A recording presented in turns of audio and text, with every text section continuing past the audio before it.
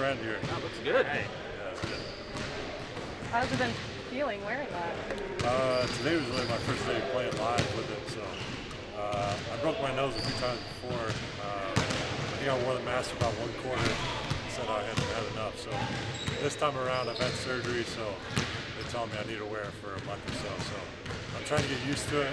I consider doing the interview in it just to do my whole day in the mask. So, today was my first day doing live. Uh, I felt good. And uh, the mask is going to take some time, but as far as physically, conditioning wise.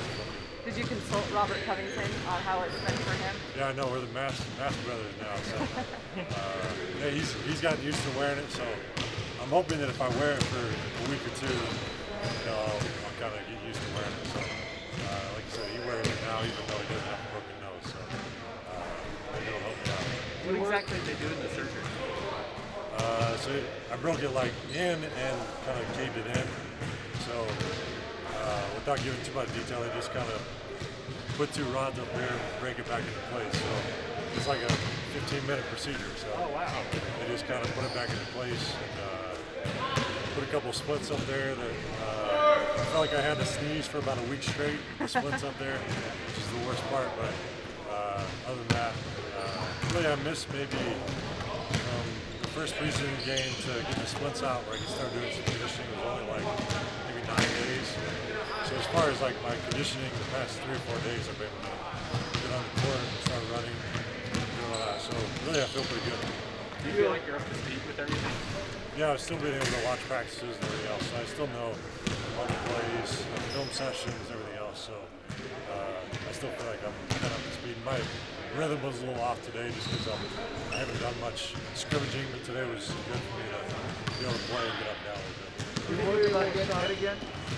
No, not at all. Not at all. I've played a reckless style of play my whole career, so uh, it's funny. The the Charlotte staff uh, knows me well. I've had stitches all over my face and on my nose broken a few times, and uh, so the, the Portland staff got here. They said we talked to the Charlotte staff, and they said you get hit in the face a lot. I was like, well, glad uh, you know that's that's the rumor on me is that I get hit in the face a lot. So. You know, I guess you gotta be known for something. I know known for Scouting getting hit in the face a lot. So. Uh, but I'll still stick my nose in there again.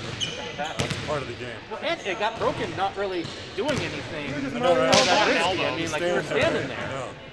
No, no, bad luck. So I don't think he meant to do it. He's, uh, He reached out at all?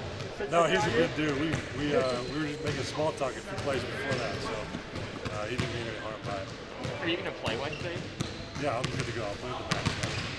What What is uh, bothers you about wearing it? Uh, it just feels like the uh, like traps the heat around your face, and then uh, there's a spot that is kind of raised a little bit to protect your nose. If you get hit in the face, it kind of spreads out the on your kind of your forehead, your cheeks.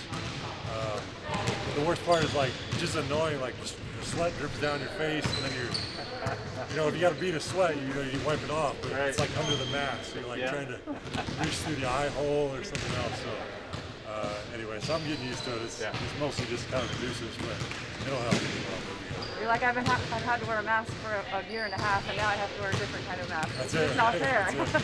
we feel for you. That's it. Do you have any impressions of the team through, through preseason?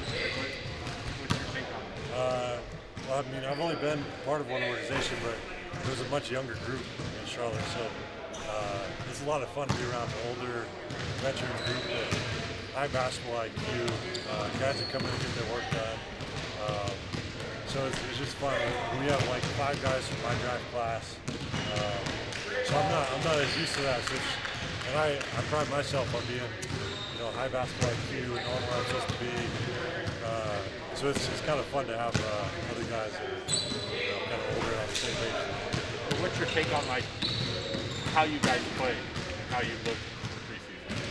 Uh, I think, I mean, the preseason, obviously, not the results we wanted, but the preseason is all for learning. We were having hard practices, um, you know, long film sessions, everything else. So you don't worry too much about the results of the games. Uh, I think each, each part is just kind of a growing experience. So uh, I'm excited about where we're at. Um, so I'm excited to get going. a little bit.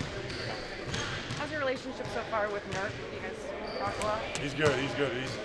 I hate playing against him uh, as an opponent.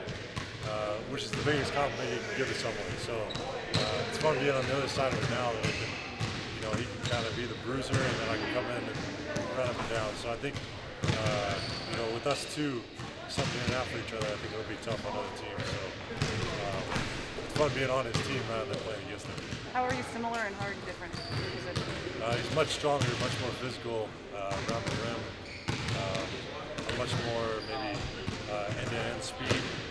Um, but as far as the way he passes, the way he plays the pick and roll, um, I think we can do similar stuff, similar skill set.